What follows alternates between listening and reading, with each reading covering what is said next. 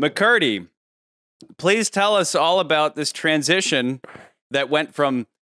Uh, we already know how it went from Connery to Lazenby back to Connery. Please Yep. tell us how we landed on Roger Moore. Oh my lord. We got a little bit to talk about, gentlemen.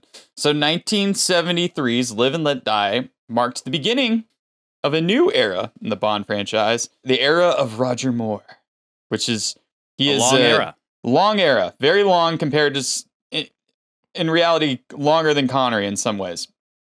Oh, okay, so we can't really start talking about the film, of course, without talking about Sir Roger Moore. Moore has been considered was considered in the past for Doctor No and Honor Her Majesty's Secret Service. However, he was never approached for those films.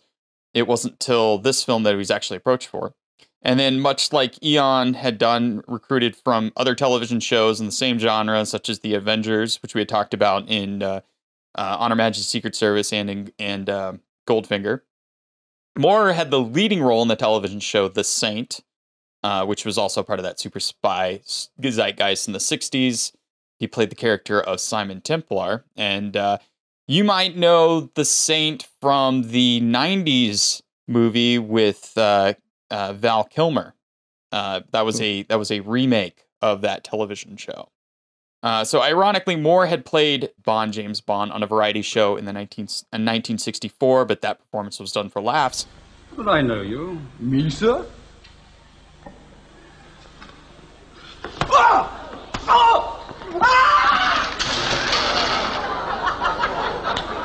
Wait up! Bring me another waiter. Every performance of his Bond Yeah, is done for It's laughs. played for laughs a little bit. Let's be real. he uh, so he actually is two years older than Connery, but he did have to get a haircut and lose weight to play Bond for this role. Now, Guy Hamilton is still directing like he did the last film, and we had Tom Mankiewicz from the last film writing these films, and he continues writing for this next film. So he wrote Diamonds Are Forever, and he decides to make the ballsy choice after looking at the book selections of what they had still left to film. Uh, with everything that had been going on in the 70s with the Black Panther movement, uh, they decided let's do Live and Let Die, which was kind of a ballsy choice at the time. He had even approached Connery after he wrote the script because he had obviously talked to him in the previous film. And he's like, Connery, you know, it's this got alligators, it's got this car chase, it's got all this crazy stuff in it. Maybe you want to come back, maybe you want to do another one. And uh, Connery's response is there are only two things in life. I'll have Charlie try to redo this.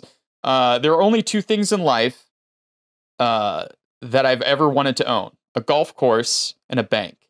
I own a golf course and I'm well on the way to the bank. I'm not coming back. Uh, okay, there isn't a single S cool. in that sentence, so I'm not going to say it. well, well, okay. it's anyway, not fun unless there's an S. I know. I know. So okay, so during the location scouting have, for this film, I have a strip club and uh, service station, and uh, Service station. and I I like Snickers. I don't know. I can't think of any No, S's. no, it's fine. so during the location scouting of this film, uh, producers and returning director Guy Hamilton found an alligator farm and with that sign that we see in the film that says Mhm. trespassers will be eaten while they were in, I believe, Jamaica. And uh, they ran aground the guy, this guy named Ross Kananga, who owned the farm. It was an alligator farm. He had even Ross Kananga had even seen his father killed by alligators and crocodiles uh, growing But up. he's not a doctor, right? no, no, no. He's just his name's Ross Kananga. Just So Ross Kananga, they yeah. decided to incorporate the alligator farm, which is not in the books, uh, into the film. And they, of course, used Kananga's name as the villain from Mr. Big to Kananga. And then Kananga even performed the alligator jump that you see in the film where he's jumping over the alligator. That's alligator's Kananga head. doing That's that? Kananga doing that. Mhm. I thought they just had some generic that was- they uh, like- stunt guy do They were like, Kananga, can you do this? He's like, well, sure, why not? I do it when- every time I get drunk. uh, originally, the role of Solitaire was going to be played by a black woman. That was what uh, Mankiewicz wanted to do. Uh, however, and Diana, Diana Ross was considered for the role, but however, they went with what Wow. was in the book and decided to cast Jane Seymour. Uh, fellas, you may recognize Jane Seymour in the 90s television show Dr. Quinn Medicine Woman. That's the same, that is the same lady, just just older and Very good Mhm. choice. very good choice. Yaphet Kotto, who plays Kananga slash Mr. Big. And you may remember him in another film, Alien. He's the he's one of the crewmen in Alien. He's in that Oh, movie. I thought he looked familiar, Yeah, but I couldn't That's who place is. him. I mean, you're only Never a couple years that. removed, Wow. and remember, you're only a couple years removed from that movie. That movie came out in '79. This came out in '73. Uh, Yeah. So he's not that much older in that film. Uh, and then, uh, but he is even quoted. I don't have the exact quote, but he's even quoted saying he didn't really like the script mainly because of a lot of the stereotypes that Man- Mankiewicz put. So he kind of had to find his own way to do the character because he didn't want to sound. He didn't want to And sound. I like a think if anybody was was but I thought he was um, brilliant. I, I I really really enjoy Kananga, and it's a Mm-hmm. tragedy Yeah, that he didn't. They did. They spent. Okay, take. There's like three major chases. Take one of those chases and remove it. Probably the airplane Mhm. chase, and And- give that yeah. time to Kananga. Uh, Kananga. Yeah. that would have been Kananga, right? Kananga, not Kananga, Kananga. Kananga. Kananga. That would have been so much more worth our time because he is an intriguing and interesting and very intelligent bad guy, and then he's he's kind of wasted. You Yeah. know, it's really unfortunate. Yeah. Let's switch gears from from intelligent to least intelligent character in this film, and that is Sheriff J.W. Pepper.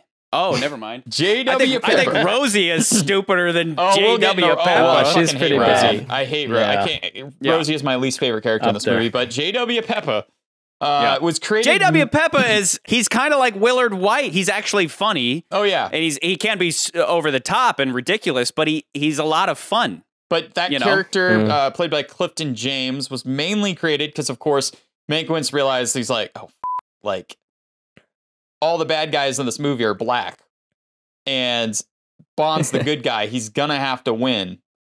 So to try to like kind of not upset audiences, not to be super controversial, he decided let's put a character in there that is just some racist white guy, basically that, that we to, can throw to in take there all that kind of take away from away Bond. and just kind of you know. So then they, they're like, oh, this we need a racism sponge in this movie. Exactly. Nobody gave a shit when Bond was judo chopping Asian people left and right, No. but when but but uh this is J.W. America. Pepper. But I think and I Uh, think audiences enjoy that character. Uh, he, I mean, he is he's just stupid. Billy Bob sure enough fix their ass. Ah. I think his best line though, his his most like where they take him to his most ridiculous is the we got all these black Russians. Black Russians. We got a swamp full of black Russians driving boats to beat the dam down here. Yeah. what? Absolutely. And then of course, uh, and then of course, talking about other characters, there is one character that is not in the film. I've got your ticket to New York. Q has repaired your wristwatch. Q. Q's not in the movie. Yeah. Q is not in the movie. Ah, yeah this is cute. the Okay. first time Yeah. Q is not in the movie, especially Desmond Llewellyn, uh, till much later. I feel like I blinked and Bond had the watch, and I was Yeah. like, So Okay. they, Yeah, they originally he was doing a television show at the time, and they scheduled time for him to have off because literally he did he would have done like what one scene, um, Hmm. so that would have been like a day's work, and then he would gone back to doing whatever he was doing. But they the producers were like Saltzman and Broccoli were like, well, we don't want to make this too gadget heavy, so let's just not put him in there, so we're less emphasis on it. Um, but he's not in the movie. It's one of the Yeah. more gadget heavy movies, Yeah. ironically. You know, Yeah. it's constant.